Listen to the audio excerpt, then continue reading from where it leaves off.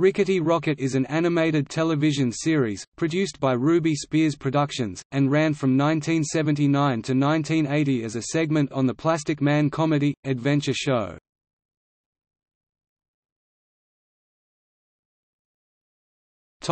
Plot In the far future, four African-American teenagers and Rickety Rocket, their makeshift sentient, talking rocket similar to Speed Buggy run the far-out detective agency and solve mysteries.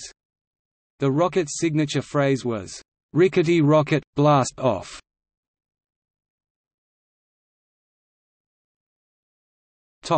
Episodes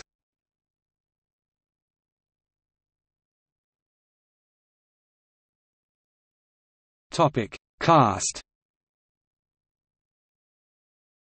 John Anthony Bailey, Sunstroke. Johnny Brown, Splashdown. Al Fann, Rickety Rocket. Bobby F. Ellerbee, Cosmo. Dee Timberlake, Venus.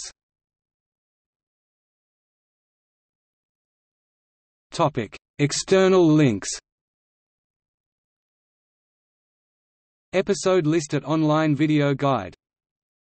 Toonarific Episode list at the Big Cartoon Database